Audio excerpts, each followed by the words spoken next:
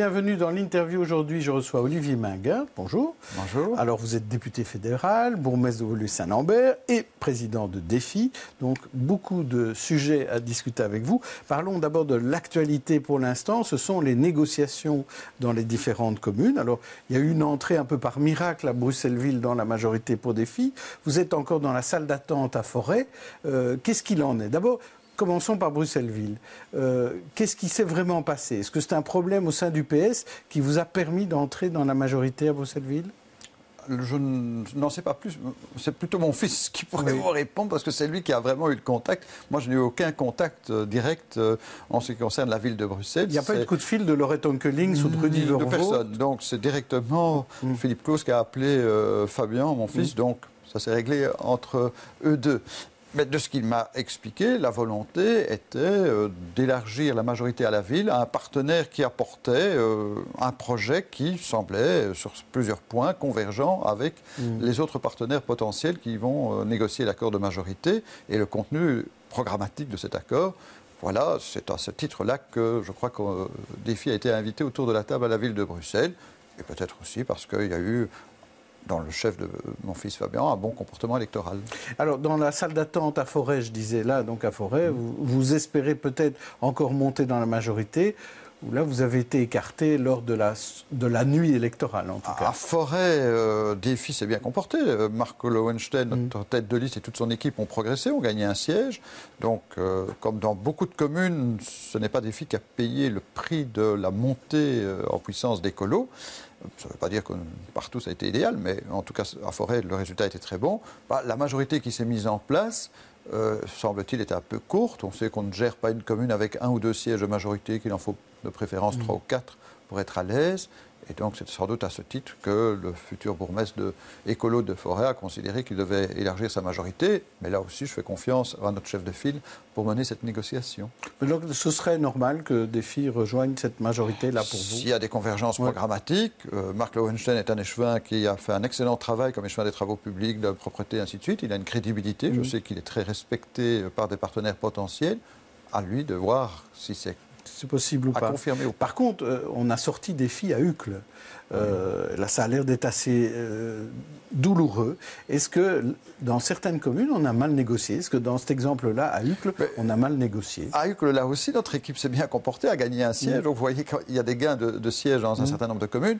je crois que tout simplement, il y a sans doute eu du côté du MR un petit vent de panique à bord et euh, que le bourgmestre Boris Diliès a préféré tout de suite trouver un accord avec Écolo, peut-être parce qu'il craignait qu'une autre majorité puisse se mettre en place contre le MR. Mmh. Ne le cachons pas, le MR a lourdement perdu à, à Uccle. Mmh. C'est un des grands enseignements de, Et donc, le MR, qui a déjà perdu quatre euh, Mayora, pouvait en perdre peut-être un cinquième. Écolo a préféré faire le choix de l'alliance avec... Euh, les amis d'Armand de Decker qu'avec mm. d'autres partenaires. Voilà, c'est un choix qu'Écolo expliquera aux électeurs à Uccle. Alors, faisons le bilan de, défis sur ces élections communales. Vous avez dit il y a eu des gains, il y a eu des gains, il y a eu des pertes aussi en, siège. Où est passée cette fameuse vague amarante qui devait déferler d'après les sondages? Alors vous, vous êtes le plus populaire dans les sondages. Vous êtes celui qui a fait le plus de voix de préférence en région bruxelloise et pourtant le parti euh, est euh, plutôt stable. Vous avez le même nombre de bourgmestres. En, termes de, listes, si on compte les, partis, ben, vous êtes le quatrième parti au sens des élections communales. Vous n'êtes pas déçu, Olivier Minguet? Ah, J'aurais souhaité une progression plus nette. Euh, il y a des gains à certains endroits, il y a des pertes sensibles à d'autres, donc on ne va pas les cacher. Euh, alors ça tient à des circonstances locales ou à des configurations locales. Je dis toujours à mes équipes, les élections communales, ce n'est pas une élection régionale, ce n'est pas une élection fédérale c'est dans chaque commune que l'électeur vérifie quelle est l'équipe qui lui paraît la plus apte à assumer la responsabilité au niveau local. Donc c'est un travail de persuasion qu'il faut faire au niveau local. Alors, je crois que s'il n'y avait pas eu la bonne image générale du parti, que les sondages reflètent, même si j'ai toujours dit les sondages, il faut les prendre avec beaucoup de réserve, mhm. on n'aurait peut-être pas eu le fait qu'on s'est bien maintenu. On aurait peut-être subi bah, ce qui est le constat pour d'autres partis, des chutes électorales parfois sensibles.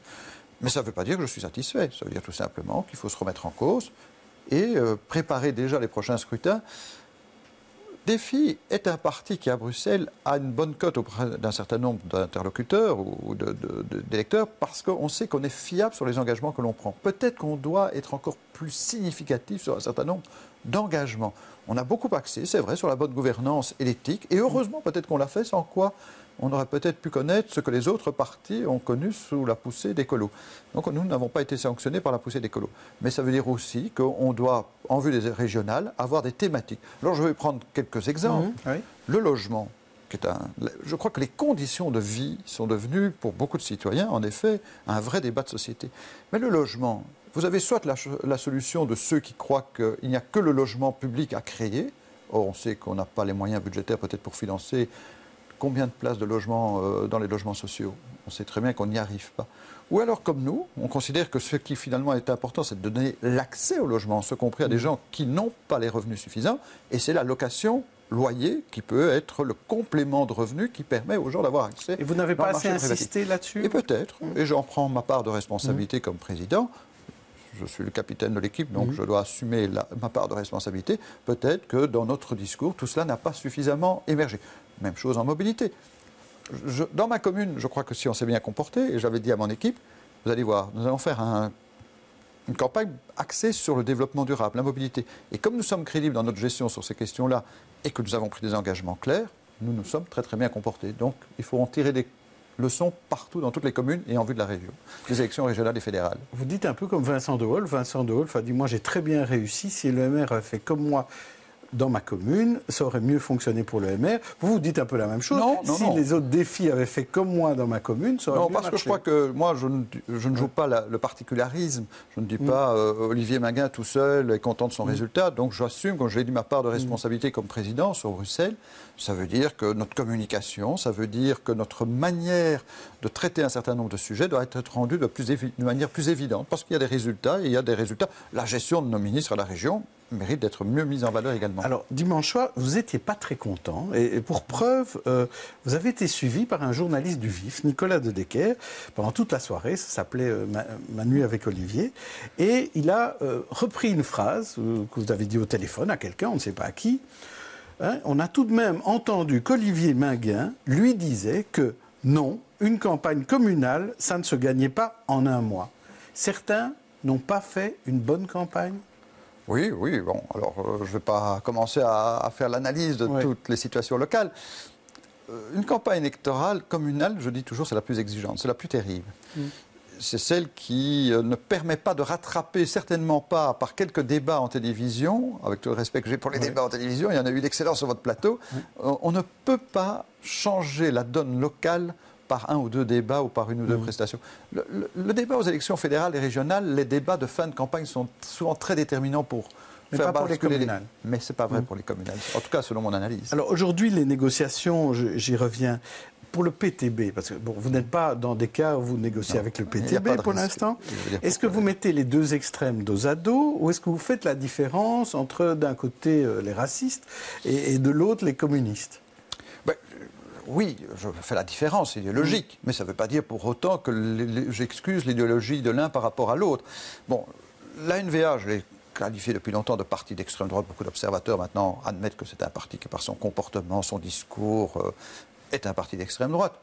Je l'entendais encore récemment sur des chaînes étrangères qui font des analyses parfois très pointues de notre situation politique intérieure, euh, des chaînes de radio en France qui expliquaient qu'il y avait l'extrême droite qui était au pouvoir en Flandre la gauche radicale marxisante, qu'elle PTB, ben, soyons clairs, euh, quand on voit quels sont les régimes à l'étranger que soutient le PTB, c'est toujours des régimes autoritaires, voire totalitaires. Ça va du Venezuela à Cuba. Donc l'arrière-fond idéologique de ce parti est un arrière-fond qui peut conduire à une tentation totalitaire, il faut le dire, il ne faut pas tromper les électeurs là-dessus. Ça ne veut pas dire que leur pratique aujourd'hui et celle-là, je dis attention, ça peut aller jusqu'à cela s'ils avaient vraiment une majorité absolue. Par ailleurs, mais est-ce qu'on peut négocier leur avec programme et je dis tout simplement, ce n'est pas un problème de savoir s'ils sont fréquentables ou pas fréquentables, mmh. c'est tout simplement que leur programme est irréaliste en termes de gestion mais, publique. Mais si demain, euh, Catherine, La collectivisation, Catherine appelle Michael Vossard de défi... Nous n'irons pas pour une négociation avec le PTB. Mmh. Je le dis très clairement. Tout simplement parce que leur programme économique, leur projet de société est inconciliable avec notre vision de la société. Il faut à un moment donné être cohérent devant l'électeur. On n'allie pas tout et son contraire sous prétexte de vouloir partager le pouvoir. Ce n'est pas mon choix en politique, ce ne sera jamais mon choix. Parlons député fédéral à, présent. Cet après-midi, à 14h, le gouvernement va jouer la transparence en donnant tous les éléments de décision concernant le, remplacement du F-16 aux commissions réunies de la défense et de l'économie. Alors je voudrais connaître votre réaction. Je vous en propose trois. Votre première réaction, c'est pourrait être je salue la transparence. La deuxième, je regrette encore l'offre française qui n'est pas sur la table. Ou troisièmement, c'est un mauvais dossier. Alors quelle est votre réaction? Je, serai présent en commission et j'irai dire ce que je pense de ce dossier. Je crois que c'est un dossier politique et donc je regrette que l'offre française n'a pas été prise en compte par le gouvernement fédéral. Parce que c'est un débat avant tout d'abord politique. Voulons-nous une Europe de la défense? Voulons-nous que. quand l'offre n'est pas remise dans les conditions alors, on aurait juridiquement, juridiquement, il y a d'ailleurs des avis de juristes qui ont été exprimés par voie de presse, juridiquement, le gouvernement fédéral pouvait mettre fin à la procédure de marché public telle que lancée, ne pas attribuer le marché et considérer qu'il passait à une autre technique de mmh. sélection des offres. Donc c'est un débat de principe. Mais c'est un débat d'abord politique avant d'être un débat juridique. Mmh. Est-ce qu'on peut concevoir, on a de cesse de dire que l'Europe est affaiblie, on a de cesse de dire que l'Europe n'a pas la capacité de se faire respecter dans les affaires du monde? Tout simplement parce que l'Europe est un nain sur le plan de la défense. Alors je sais bien qu'il y a des gens qui vont nous dire pacifisme, pacifisme. La question c'est que si l'Europe veut être une puissance pacifique, elle doit avoir la capacité de se faire respecter. Et pour ce faire, elle doit avoir son armement propre. La force des États-Unis, vous ne verrez jamais les États-Unis acheter de l'armement, en tout cas principal, en Europe en tout cas, ce seront euh, des fusils euh, peut-être à la, la position politique. Oui, mais c'est essentiel. Vous ne pouvez pas construire l'Europe politique si vous n'avez pas l'Europe de la Est-ce que vous saluez la transparence du gouvernement de vous donner les éléments Ou est-ce que vous dites, comme dit Van der Maal, c'est une république bananière parce qu'on nous donne je tout au dernier moment? Je vérifierai cet après-midi ce que communique le gouvernement. Ça, je ne préjuge pas. Je dis tout simplement que le gouvernement avait un a priori depuis le départ hmm. qui était de ne pas prendre en considération la proposition de partenariat de la France pour construire un vrai projet mmh. d'armement européen dans un secteur Et vous le regrettez. qui est la chasse, les mmh. avions de chasse. Alors, on va parler de 2019, on va terminer avec ça. Quelle est votre stratégie de président est-ce que vous serez candidat au fédéral en 2019 Non, on m'a souvent posé la question. Et moi, je redis ce que j'ai toujours dit. Vous ne serez pas candidat Je ne serai pas candidat. J'ai l'habitude de respecter les engagements. Et je crois que c'est à cela que les électeurs s'attendent. Et c'est cela que les électeurs vont peut-être apprécier dans ma commune. C'est que j'ai dit que je m'occuperai de ma commune et je m'occuperai de ma commune. Et ce sera le cas de tous les bourgmestres et, ce sera le cas de tous nos candidats tous ceux qui se présenteront aux élections, soit fédérales ou régionales, devront signer un engagement sur l'honneur et rendu public de décumul. S'ils sont élus au Parlement, ils ne pourront pas rester soit de bourgmestre, soit échevin. Mais ils pourront être candidats. On peut toujours être candidat, oui, bien Ça Vous acceptez que les autres candidats. Oui, moi j'ai fait le choix, je l'ai dit clairement. Mais la règle sera respectée par tous. Parfait. Merci beaucoup, Olivier Linguin. Demain, je recevrai Joël Milquet. D'ici la bonne journée, bonne soirée à tous.